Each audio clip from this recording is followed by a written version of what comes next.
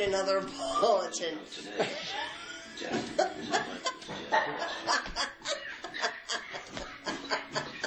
I remember in prayer the many who are sick of our community. Smile at someone hard to love and, and say,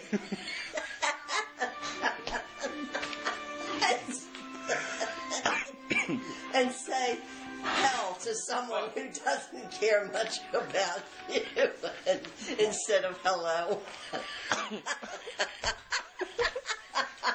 Say what? No one knows, Mom. No one knows what's going on. Yeah, oh, what was another good one?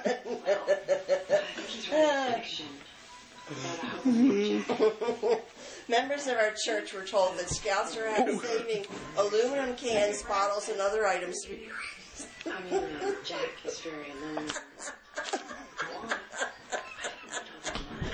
to be recycled, and the proceeds will be used to cripple children. What's, what, what's funny about the crippled children? well, to crippled children instead of for children. What, Mom? Hey, you should. You A should have thought of typo announced one church would be singing hymns in the park and that folks should bring blankets and be prepared to. s- He's drunk on drugs. Uh, I'm saving this so whenever I need a laugh. Wait a minute. Dude, what's wrong with Wait to this? hear this one. Our, our church bulletin asks those attending the low self-esteem support group to use the back door.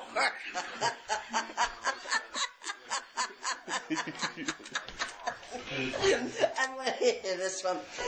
And those attending the Weight Watchers meeting at a Presbyterian church were instructed to use the large double doors at the side entrance. Wait till you hear this one, Josh.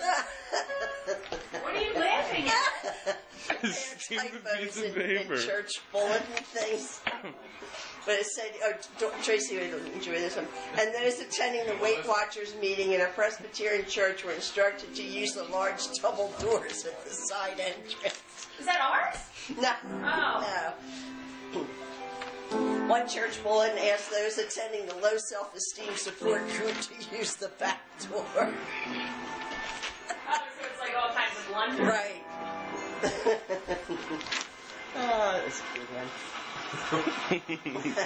I'm glad you think so. A note in a bulletin said, ladies, don't forget the rummage sale. It's a chance to get rid of those things not worth keeping around the house. Bring your husbands. That's one thing.